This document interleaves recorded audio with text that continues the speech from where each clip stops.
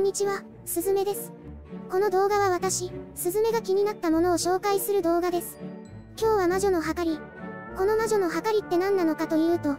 魔女裁判のために作られた体重計だそうです。まだ、魔女狩りなんかも実際にあった時代。魔女は空を飛ぶので、体重が軽いと考えられていて、極端に体重の軽い女性は、魔女だと疑われていました。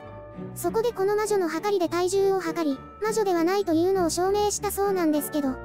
この計りは、神聖ローマ帝国の皇帝、カール5世から、信頼できるものであるとの特権を与えられていたそうで、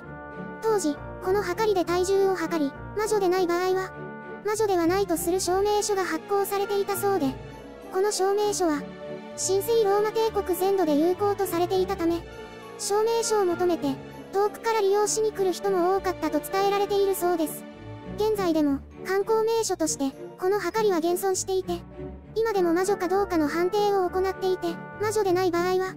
魔女ではないとする証明書が発行されているそうです。ちなみに、この計りは魔女裁判のために1500年代に作られたそうで、1729年に魔女裁判で最後の判定が行われるまで、魔女とされた人は、一人もいないそうです。いかがでしたか、魔女の計り。オランダのアウデワーターという町にあるそうで、